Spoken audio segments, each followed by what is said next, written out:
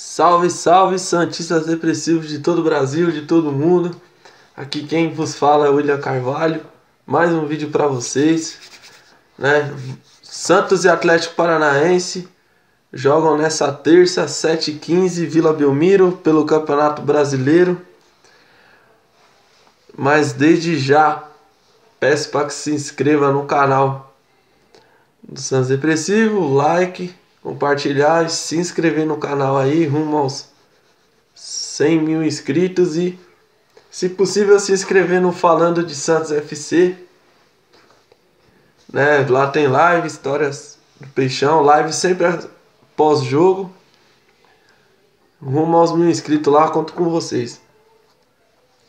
E a respeito do jogo, mais uma análise. Cara, me surpreendeu o Atlético Paranaense, hein? Que time bem treinado, bem ajeitado pelo técnico Oliveira lá, o português, Antônio Oliveira. Time ajustadinho, joga no 5-4-1. É, não importa o que aconteça no jogo em termos defensivos, o time é alinhado, ele não muda. Muito difícil o jogo pro Santos, cara. Tô só pelo aquele 1x0 chorado, chorado. Mas que a gente vença, né? O Atlético Paranaense vem fazendo uma ótima campanha aqui, está em segundo lugar. Tem um jogo a menos contra o Flamengo. Jogo extremamente difícil. É, já vamos aqui as imagens. Né, deixa eu pegar as imagens. Deixa eu pegar as imagens aqui do Atlético Paranaense para vocês lerem na tela. Apesar do time ser bem recuado, vou mostrar três imagens aqui Primeiro é contra o Grêmio. O jogador do Atlético Paranaense tem a ele finaliza para fora, mas olha, ele tem quatro opções dentro da área e uma quinta se ele quisesse tocar. Apesar de jogar no 5-4-1, quando a equipe contra-ataca e tem a posse da bola, ela é bem ofensiva. Foi uma, algo que chamou a atenção. Olha essa outra imagem aí contra o Grêmio tem sete no ataque e um. E o cara com a bola e ele tem seis opções de passe, cara. Sete jogadores atacando o Grêmio. É, a outra imagem aí contra o Atlético Paranaense é o primeiro gol contra o Fortaleza nesse último jogo, ó. O Vitinho cruza na área, tem três opções de passe ali, ó. E no o mais interessante nesse gol, que no cruzamento é um contra um, ó. Defesa do Fortaleza marca, tipo, mano a mano. Mas olha que interessante, se você acerta o passe ali e passa do marcador igual o Terans fez, você tá dentro do gol, amigo. Então, parabéns pro técnico do Atlético Paranaense, me surpreendeu. Christian e Richard jogam bem próximos. Os volantes vem jogando muito bem, além do Terans também em ótima fase. Essa outra imagem é para provar, ó.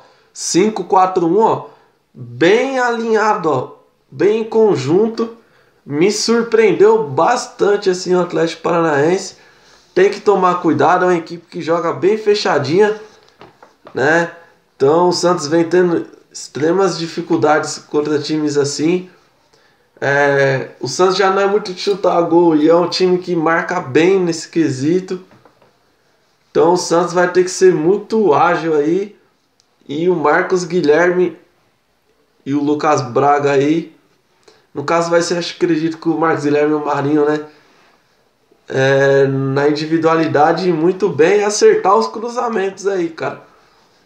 Que o, o meio de campo é bem povoado, bem marcado e muito bem sincronizado.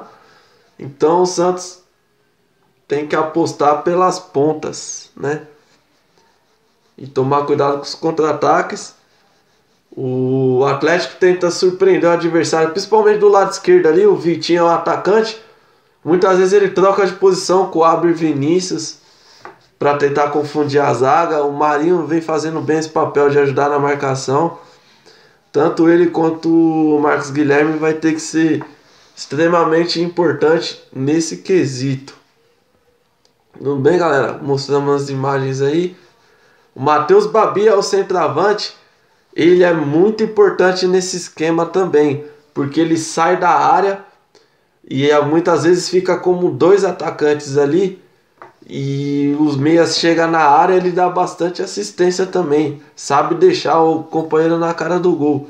Tem que ficar bastante atento a esses detalhes aí do Atlético Paranaense que de todas as análises que eu fiz aqui até agora é o time que mais me surpreendeu no quesito de análise tática. O quanto o time é sincronizado, cara. Vai dar muito trabalho para o Santos aí nessa partida de terça-feira.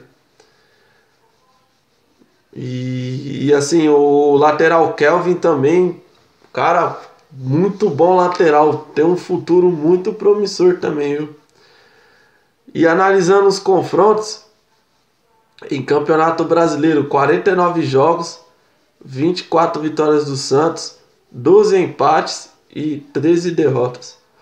Na Vila Belmiro, 24 jogos, 16 vitórias do Santos, 7 empates e apenas uma vitória do Atlético Paranaense. Foi aquela de 2005 lá na Libertadores.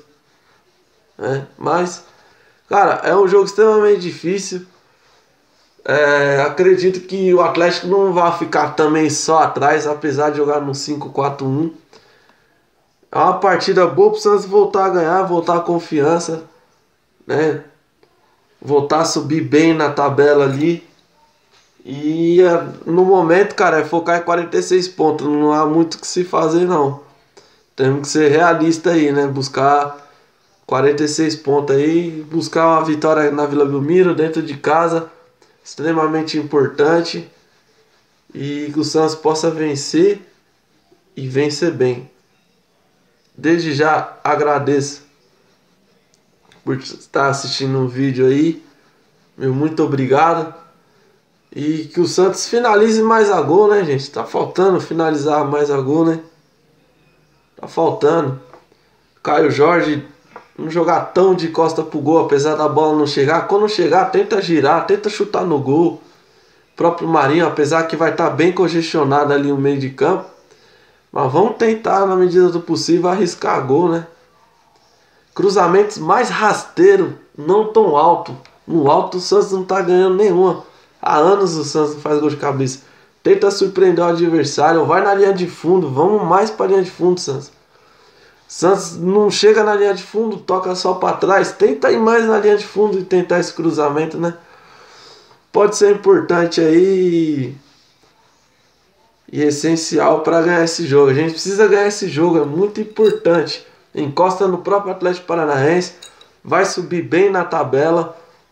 É, o São Paulo tá perdeu pro Red Bull. O o Grêmio tá perdendo, até esse vídeo tá sendo gravado aqui. Então é importante ganhar, se afastar de vez do Z4, ficar ali no bolo ali em cima. Mais pra frente a gente vê como é que faz. Beleza, galera? Obrigado, tamo junto, até o próximo vídeo aí.